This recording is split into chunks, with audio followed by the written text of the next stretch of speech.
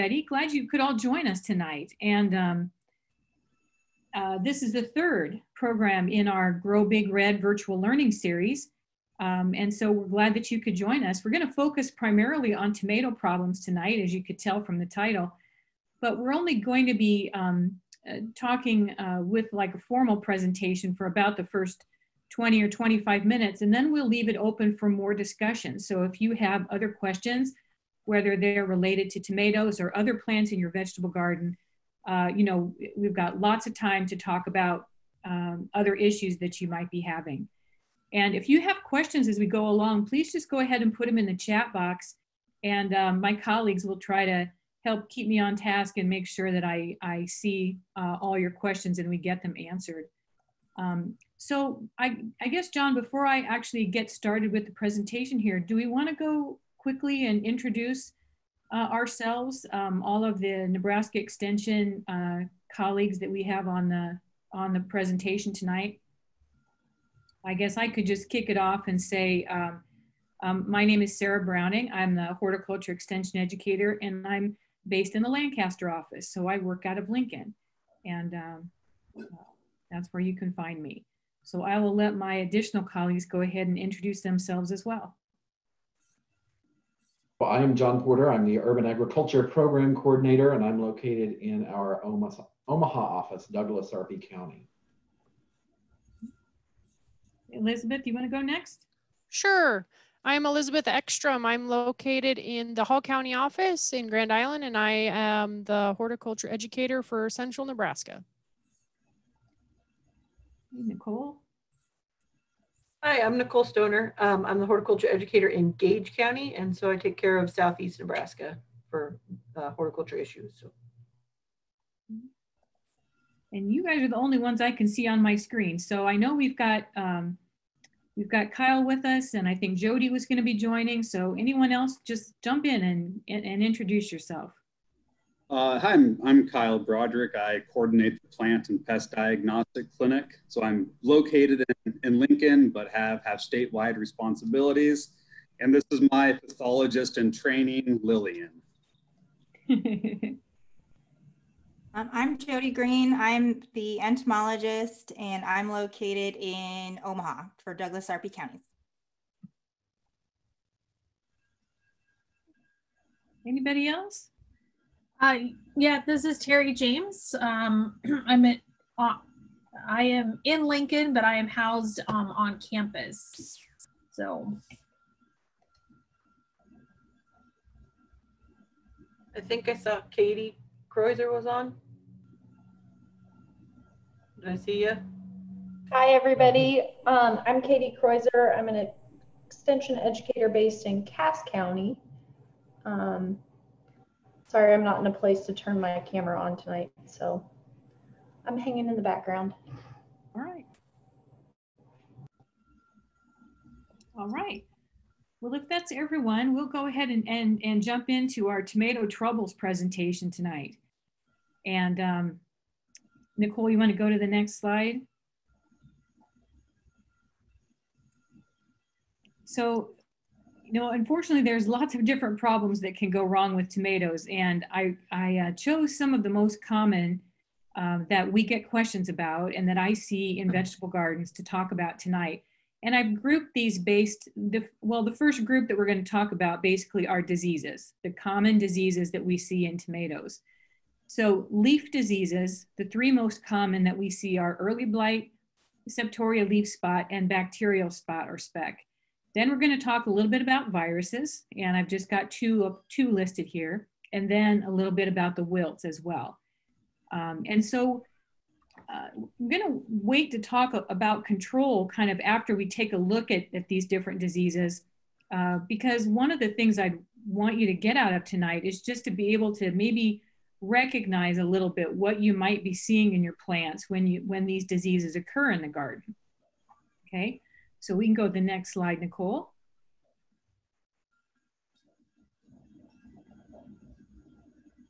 Okay, so starting off with the leaf diseases here. Um, so on your left is a picture of a leaf with early blight. And early blight is one of the, the most common fungal diseases that we see on tomatoes. And um, with the, the first two, early blight and septoria leaf spot, it's very, very common to see these diseases start on the lowest leaves of the plants. And so typically what people will say, or what gardeners will see in their garden, is that the lowest leaves of the plants will, will get these spots, and then the leaves will turn yellow and they'll turn brown, and then gradually the disease will move up the plant. And depending on the weather conditions that we're having, the disease might move slow or it might move more quickly. Um, but so the first disease, early blight, if you can take a close look at the lesions on those leaves, you might be able to see concentric rings. And this is one good diagnostic feature of early blight is that where the fungal spore lands on the leaves, it, it will infect the tissue and it will kill that tissue, but then it, it keeps enlarging. And so you get these concentric rings as the lesion gets bigger and bigger. Now they're not always perfect, you know, almost circular, which they are on this particular leaf. Sometimes the, the lesions expand in a really irregular shape, but you'll still be able to see those concentric rings as the lesions get bigger and bigger. And it's very common also with early blight to see that yellowing, the yellowing of the tissue around the lesions uh, that hasn't actually turned brown yet. Um, eventually it will. So this is a very common, um, uh, uh, these symptoms, these lesions that you're seeing in that picture are very common for early blight. Um, and you do have to look pretty closely at the leaves to see them. You know, you have to get right down there and, and pick a leaflet and look for those, those lesions. Now the, the, the leaf in the middle is Septoria leaf spot. And the way that these lesions are usually described is that in the center of lesion, you'll see that, that lightish, uh, almost white or a very light tan in the center of the lesion. And then the edges around the light, the, the whitish part are darker. You know, they're a darker brown color usually. And sometimes when you have leaves that are very heavily infected, these lesions will coalesce and, and, and almost the whole leaf will turn brown okay? But you won't see those concentric rings like you see with the early blight, okay? Now the first two diseases, early blight and septoria leaf spot, are, are pretty much exclusively foliage diseases. They don't infect the fruits directly, but what they can do is they can cause enough leaf death that eventually the plants just become unproductive and the tomatoes that might be on your plants are exposed to so much sun that you end up with sun scald and they don't they don't ripen well because there aren't enough carbohydrates and sugars. But the, but these but you won't see fungal lesions from these two diseases. The third disease on your far right which is bacterial speck you see lesions on both the leaves and the fruits. So you can see in in um, on the leaf you've got these really, really tiny little dark brown spots. In fact, when you see them on a tomato leaf in the field, oftentimes these little spots almost look black. They're just very dark colored. And then you can see on that tomato uh, uh, above, you see also little black lesions on the fruits themselves. Um, uh, sometimes the lesions in bacterial speck can be raised. So if you run your thumb or your finger over it, you can feel kind of a little raised uh, surface to that lesion. And they don't go into the fruits. They don't go in and cause the fruit to rot, but they just they just make the fruits look a little bit um, look a little bad. You know, they don't look perfect. They don't look like a perfect tomato.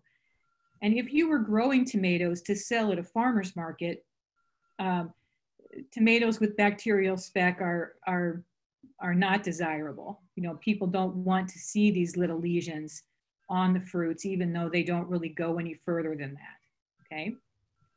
So I guess what I, what I first wanted you to get out of these pictures is not to be able to identify, oh yeah, that's septoria leaf spot, or oh, that's bacterial speck. I just wanted you to be able to, to take a look at a leaf and say, okay, that's probably one of the leaf spot diseases and then go from there. Uh, because fortunately, controlling the diseases with all of these, these three uh, diseases is pretty much the same. So uh, it's not terribly critical that you be able to pinpoint, you know, which one it is. Um, early blight, septoria leaf spot, or bacterial speck, okay? So um, any questions that anybody have about these before we move on? And we're gonna talk more about control here, but I'm gonna wait until we take a look at a few more pictures before we get to that. Okay. So I'm not seeing any questions There- coming up. There was a question a while ago about um, the leaves at the bottom of the plant turning yellow. And I wondered if maybe that was one of these diseases, if you wanted to Yes. kind of, Yes, it very likely was. Um, very likely was one of these diseases. Now, in, in field tomatoes, um, I've often seen bacterial speck uh, not be not, not be restricted to the base of the plant. It, it can occur anywhere on the plant if as long as weather conditions are right. But septoria leaf spot and early blight almost always start at the bottom of the plant. And those, those leaves, those oldest leaves will be the first ones that become infected and then the disease will just move up the plant. And so that yellowing from the bottom is very common. Okay, so I, I do see a question. What's the difference between early blight and late blight in tomatoes? Good question. So um, early blight, I guess, I guess the biggest difference is um, one of the things is weather. Late blight is a disease that we see coming in when conditions are cooler and, and rather wet. So we had conditions a few years ago where the end of the summer, it, it suddenly turned uh, really cool and wet. And we, we saw an outbreak of late blight um, on tomatoes and potatoes and other plants in the vegetable garden. Late blight causes a very dramatic, almost, almost um, immediate collapse of the plant.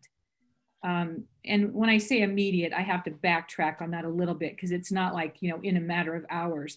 But over the course of a few days, the plants will get these black lesions on the stems and um, on the fruits, and the, the plants will just wilt and die very quickly. Okay, so, ba but based on our summer weather conditions, we don't see late blight very often. It's much, much more common for us to see early blight because early blight is, is favored by warm temperatures. You know, um, 80, 85 are great temperatures for early blight and high humidity. And so those are the conditions that we see for that disease. Okay. Okay, so Nicole, you want to go on to the next slide?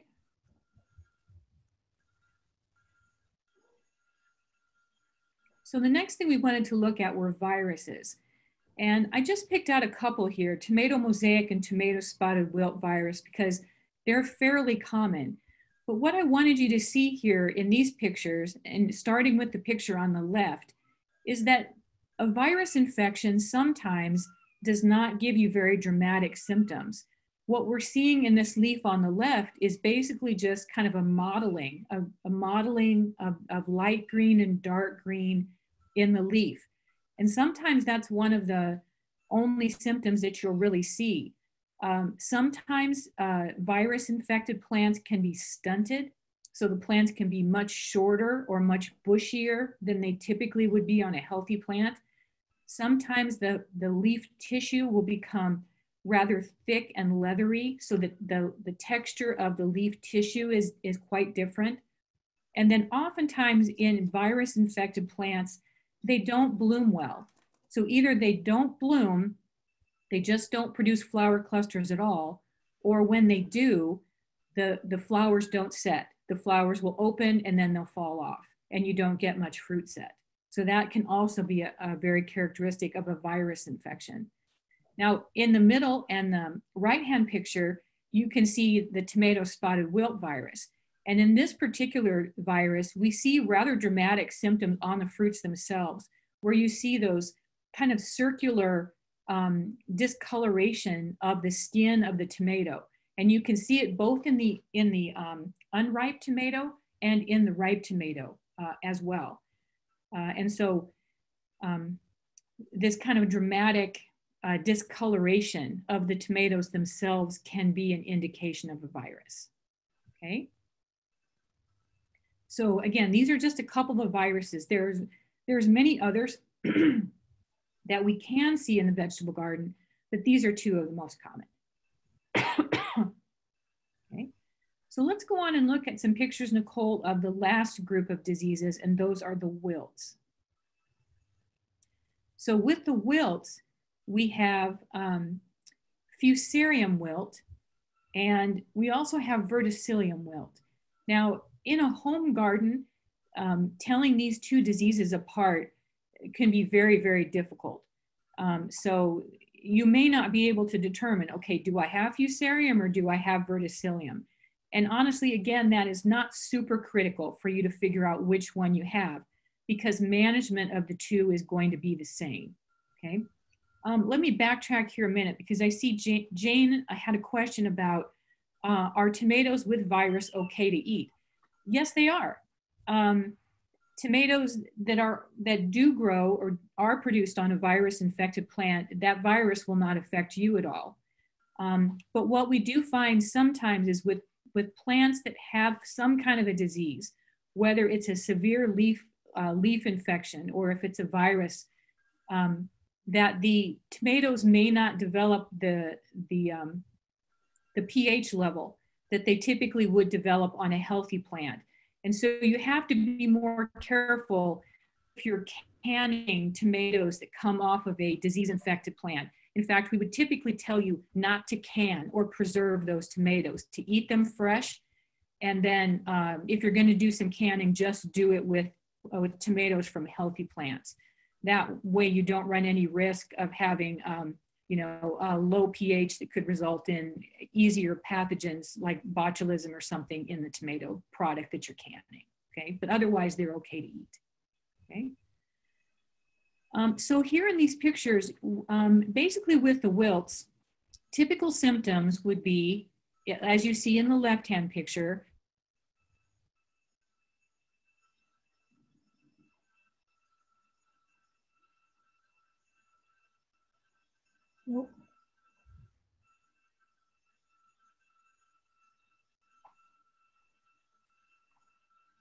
Okay, I'm back again. Sorry about that.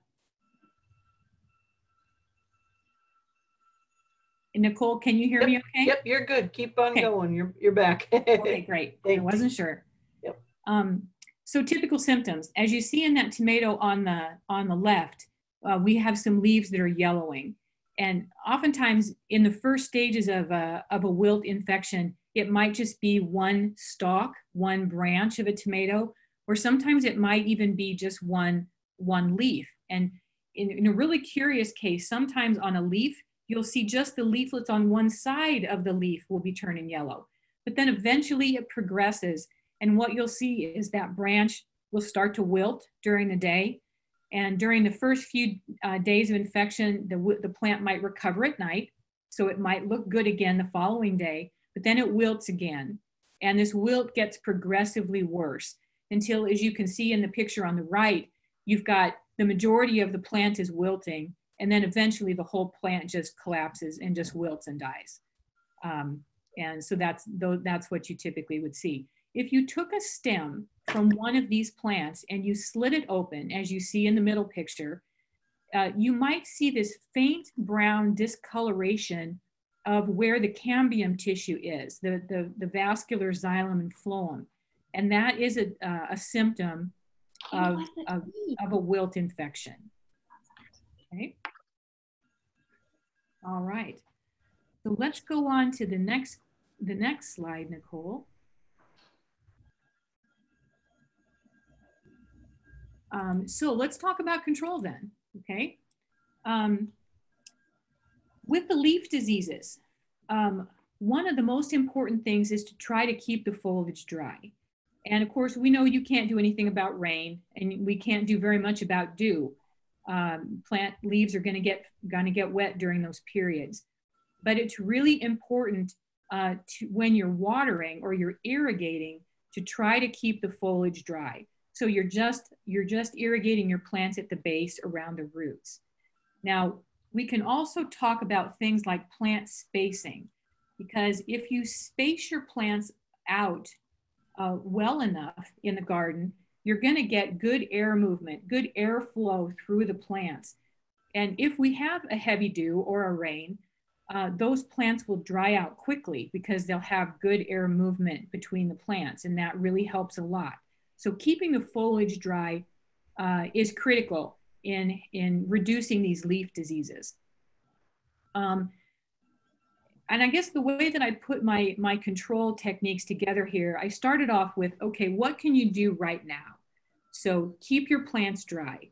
The other thing that you can do is to remove infected leaves um, because we know that the, the leaves become infected and then if it rains, the rain drops will splash on those infected leaves and they will splash the fungal spores up to the leaves above them and that is one way that the disease progresses up the plant is through rain splash. Um, uh, so removing those infected leaves uh, can be one way to slow the disease down, okay? Um, you might then, if your plants are, are heavily infected or if the disease seems to be progressing quickly, you may need to resort to a fungicide spray program. And um, one of the the um, fungicides that we use very commonly in the vegetable garden is liquid copper. And uh, I have some product names listed for you at the end of the presentation, so we'll come to that. Um, but that liquid copper is a good general purpose fungicide, and it works fairly well against some of these leaf spot diseases. So the typical spray schedule would be to spray your plants every seven to 14 days, depending on how uh, wet or humid of a period that we're in. The more rainy uh, weather we have, uh, the shorter your spray schedule would need to be. Okay, um, let's see.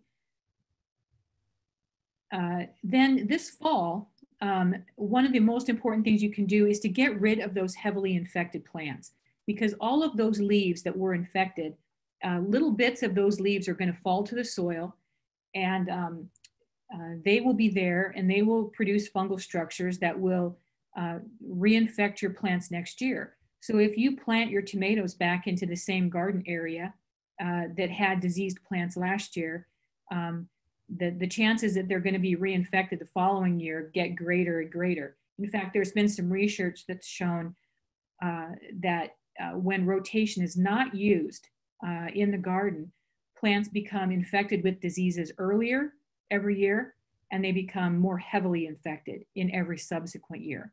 So get rid of those heavily infected plants. That's important. And don't put them in the compost pile uh, because typically most home garden compost piles don't get hot enough to kill off all those, those disease uh, pathogens, whether it's fungal spores or bacterial, uh, bacterial structures, okay? Um, then think about a good rotation schedule. And with the leaf diseases, a three to four year rotation is what's typically recommended. Now keep in mind that you can't just rotate from one corner of a garden to, to another corner, especially if you're uh, tilling up your whole garden uh, at some point in the season, whether you do that in the fall or in the spring, because you're just basically mixing those fungal structures or those disease pathogens throughout the whole garden. Um, so you almost need to rotate from one garden plot to a totally disconnected garden plot. Or you could rotate from a garden plot into containers. Or you could rotate over years. So maybe one year you have a heavy tomato crop production. The next year you do melons. The next year you do sweet corn and, and onions, just so that you're rotating through different vegetable families to help to keep those disease um, uh, populations in the soil under control. Okay. Um, then with the viruses and the wilts, uh, you know, the, the control measures are much simpler. And basically it's what uh, we, we like to say on backyard farmers, basically rogue it out. Um, there, there is no effective spray program for a virus or a wilt. Uh, there's no way to cure these plants. So it's better to just get them out of your garden so that, so that the disease doesn't move on to other plants. The viruses are typically spread from plant to plant through insect feeding, like leaf hoppers are one of the big vectors for uh, vegetable viruses. And so it's important to just get the plants out as soon as you can, okay? then the following year, think about resistant cultivars. Now, fortunately, with the wilts and the viruses, there are plants out there that have good resistance. So, you know, look for tomatoes that have verticillium resistance and fusarium resistance. If you know you've had these diseases in your garden in, in years past, um, and, and um, uh, that will help you out tremendously uh, to keep these diseases under control. There's also good cultivars that have resistance to some of the viruses like tomato spotted wilt, wilt virus and mosaic virus. So, um, you know, do some research over the winter months if you have had these diseases in the past and find the cultivars that are going to provide you the resistance uh, that you need for those diseases. Now, I do have to say one, one thing about resistance is that resistance doesn't mean immunity. So if the pathogen load is extremely high in a garden, even a resistant plant could become infected, okay? Uh, so just keep that in mind, all right? Um, let's see, we've got a question here from Nikki. Does Nebraska tomato production at risk for bacterial canker, bacterial speck, uh, or Candidatus Liberibacter? Um, definitely bacterial speck and spot. I've seen a lot of that in commercial production fields. Um, and uh, thanks, Kyle. Thanks for jumping in on the bacterial canker. I'm not sure about the last one, uh, the candidatus liberata. I'm not familiar with that one. So Kyle, if you want to jump in on that, that one would be great. Yeah, um, so that is a phytoplasma, the, uh, the Candididus uh, libera, lib, libericter. Um, and that is a it's basically a, a uh, bacteria that behaves kind of like a virus. And as far as I know, that's only been confirmed um, in Florida and possibly California. I don't think we have that in Nebraska. Thank you very much. So Nicole, we can go on to the next slide. There was a question about um, diseases that are airborne versus soil-borne. She was, uh, Lisa was wondering which ones are airborne and which ones are soil-borne.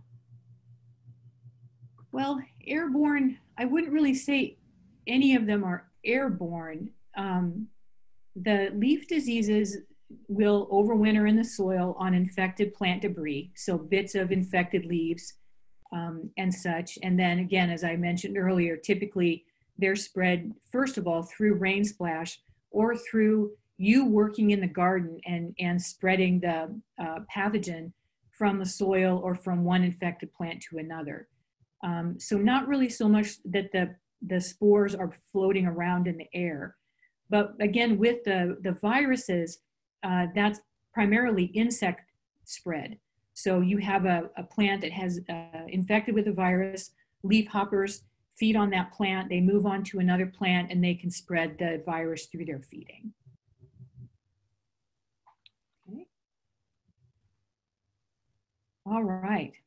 So let's talk a little bit about um, insects and then we're gonna wrap up with some uh, abiotic problems that we typically see on, um, on tomatoes.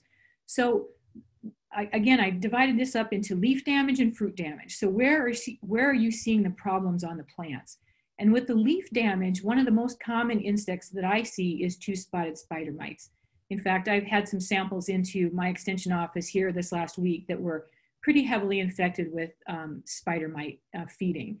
And spider mites are very tiny little, um, uh, almost arachnid-like uh, insects. They have a mouth like a straw and they stick their mouth into the leaf and then they suck out the liquid contents of the cells. And their feeding causes this very characteristic little yellow speckling.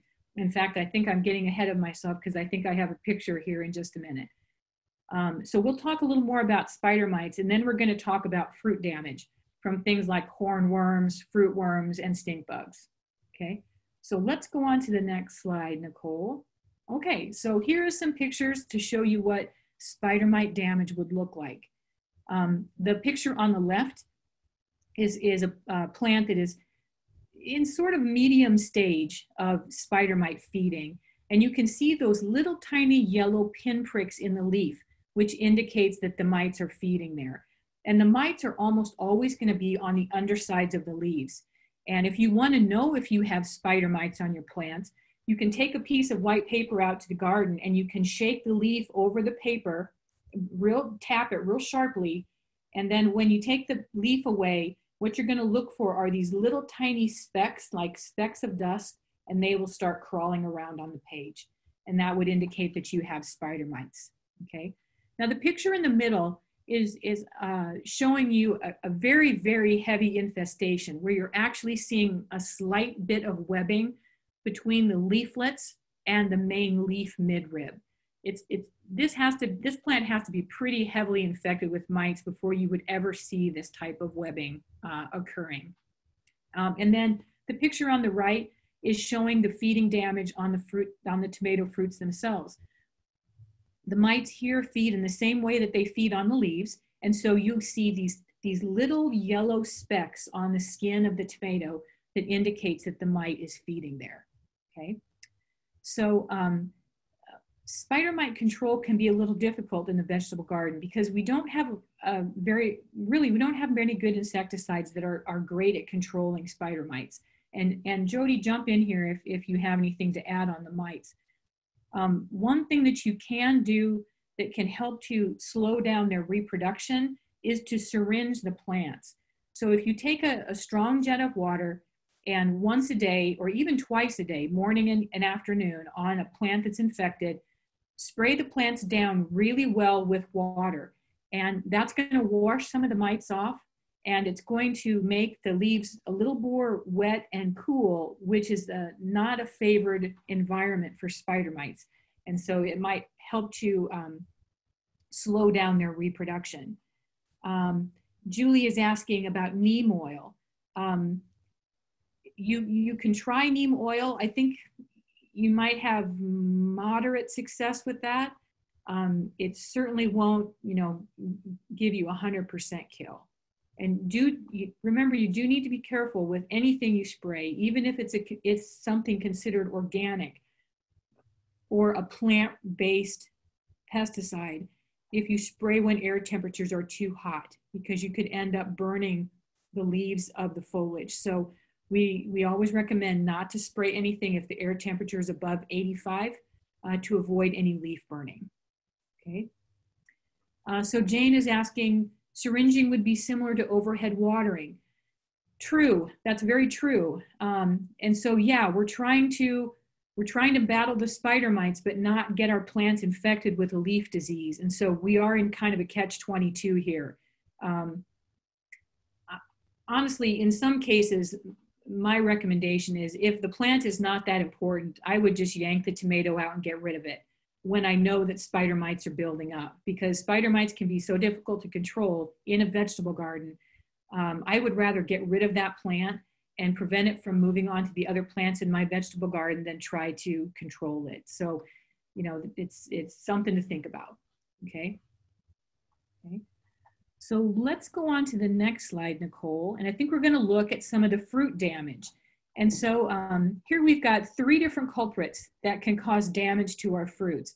And you may have seen uh, uh the one on the left uh, is pretty common, tobacco or tomato hornworm. Those are actually two different species of hornworms.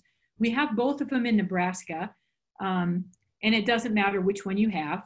they're, they're, they do the same kind of damage. Uh, they're hard to find, even though they're big. Um, they're they're kind of the size of a like a baby mini carrot you know that you would get at the grocery store uh, or maybe even a little bit longer. So they're pretty big but their coloration blends in really well with the foliage colors and so it can be hard to find them. Um, they will leave behind their frass which are uh, little black uh, round uh, droppings and sometimes if you can find the droppings, you can narrow down where the hornworm is in your plant. Uh, so they feed on the leaves. And then when you have fruits on, they will also feed on the tomatoes themselves. So you have to watch out for them in both uh, situations. Then the, the uh, critter in the middle is um, what we call a fruit worm or AKA corn earworm. So this is the larva of a moth and we have plenty of them in Nebraska since we have so much corn. Um, and uh, they do love to feed on tomatoes. And oftentimes they'll chew a hole in the side of a tomato and they won't, they won't go in and, and burrow in the tomato, but they'll move on to the next tomato and they'll chew a hole in the side of that one too. So they'll just kind of move from uh, tomato to tomato uh, and cause quite a bit of damage. Then the picture on the right, uh, you see a stink bug. And, and in this case, it's a green stink bug. We have several different species of stink bugs in Nebraska. Um, the feeding damage that they cause is, is very similar, no matter what species of stink bug it is. And, and you can see that the um, yellowish speckling on that tomato is, is a very characteristic type of feeding we would see from stink bugs. So here again, this tomato could certainly be eaten. There's no reason that you couldn't eat it if the um, if you didn't have a secondary uh, fruit rot.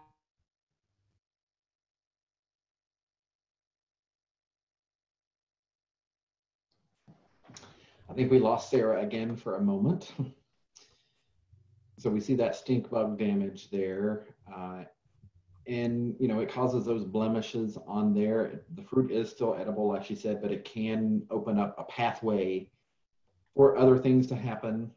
Uh, so you want to be watching out for that. Right. We'll cross our fingers that Sarah hops back on any second now. Thanks, John. I'm back. There we go. So yeah, thanks, thanks for talking about the stink bug damage there. Sometimes if the damage is really extensive, you can get some secondary fruit rots and the, and the tomato will just rot. And then of course, at that point, it's, it looks horrible and you're not gonna wanna eat it anyway. Okay. So let's go on to the next slide, Nicole. All right. So I wanted to talk a little bit uh, about just general control for these kinds of, uh, of critters. And um, you know, you can hand pick if it's something big like a hornworm, you can hand pick them. Um, uh, you know, with in many cases, um, you might need to resort to an insecticide if you want to, you know, really keep your, your plants clean. Or if you're willing to tolerate a, a certain amount of damage, that's fine too. And you can just discard those fruits that have the insect damage and just harvest the ones that, that are looking fine. Um, so I mentioned earlier that I would give you kind of a listing of some of the common garden pest control products that you're going to find available at the garden centers. And so that's what you have listed here. Um, in the insecticides, Carbaryl has been a product that we've used for many, many years in the vegetable garden. And then more recently, we have permethrin, uh, which is sold as eight, uh, which is um, uh, a good product that provides control of um, neither of these uh, will do very much in the way of control for spider mites. So um, don't use it for that. But for the other insects we've talked about, they could help with control.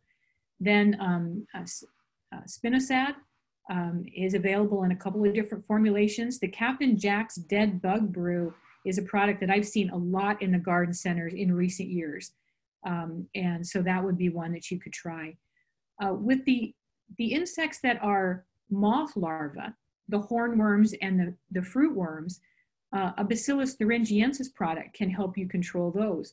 And there's both a Monterey and a Bonide formulation of BT, uh, which is um, uh, a very safe product, very environmentally friendly, um, and will give you good control. So that would be something that you could try. Um, then I've also listed for you there some of the common garden fungicides that you'll be able to find in the garden centers. I already mentioned the liquid copper as one option, but there's also chlorthalonil, uh, mancozeb, and then again neem oil. And neem, um, neem oil is used as a fungicide and an insecticide, so it can work um, in both, both instances. Okay. Um, Brittany is asking if there is an, an effective insecticide for grasshoppers. Um, that's a difficult question, Brittany.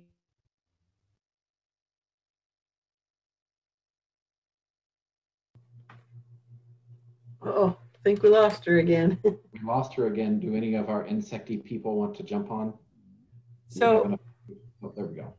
Well, the, and this is Nicole, most of your general insecticides are going to work pretty well with them, but with grasshoppers, you may have to look at um, spraying in like the, the ditches and taller grass areas as well for grasshoppers because they, that's kind of where they're going to spend a little more of their time.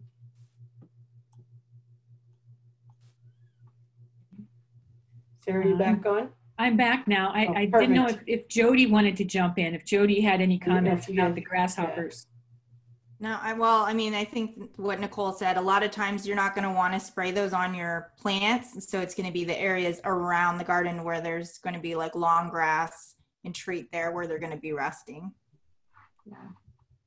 It's And going to be more general, broad spectrum. And it, it's difficult to kill grasshoppers when they're adults. You Yes. y- you, you really, really need to focus on controlling them when they're young. Um, before they reach, what, what Jody is the recommendation? Is it before they're a half an inch long? I actually don't know the exact uh, instar or length, but Okay. yeah, I mean, they, they can just move away from that area so fast and fly pretty far. Yeah, but if you catch them when they're young, before they have wings, they're a little bit more sedentary. They they kind of stay in a smaller area, and you might have more success at killing them if you if you do it when they're young. Okay. Okay, so we want to go on to the next slide, Nicole. I am being very long-winded tonight. I apologize because I wanted to give time for everybody to get in with questions.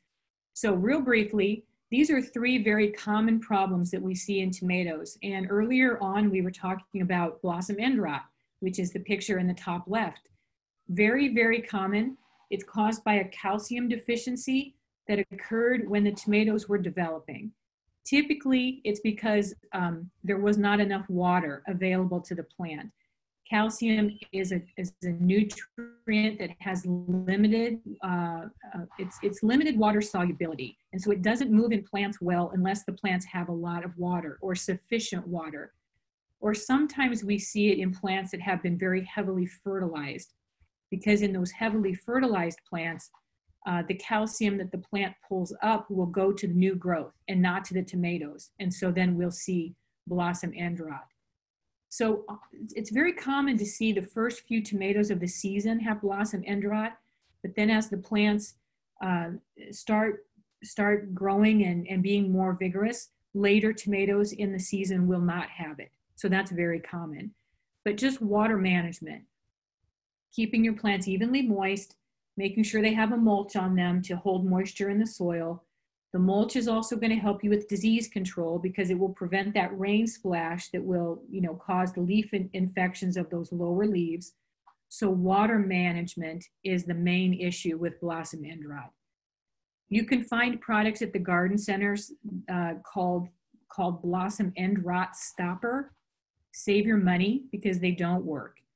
Uh, tomatoes do not take calcium in well through the foliage or through the fruits, so they, they don't work.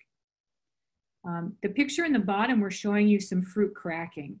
And this is very common in tomatoes as, they, as they're nearing maturity. If we get a big influx of rain or heavy irrigation uh, that the plants can't accommodate, and then they'll crack like this. If you're having a lot of trouble with fruit cracking, there are cultivars of tomatoes that have been bred to have increased resistance to fruit cracking.